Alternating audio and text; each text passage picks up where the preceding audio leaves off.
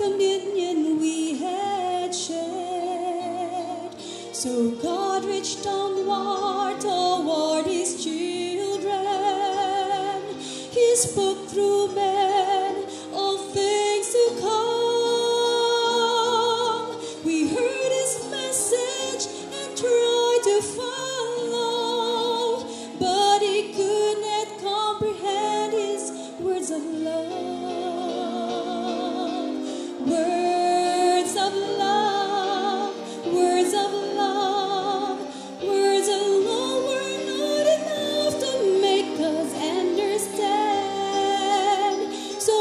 One more word, one great and glorious word.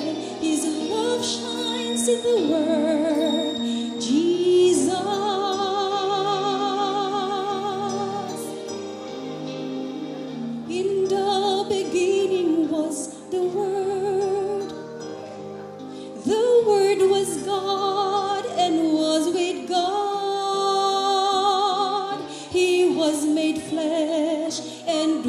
among us. And without Him was not anything conceived.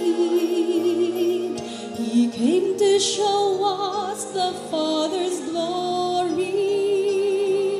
He came to prove the Father's love.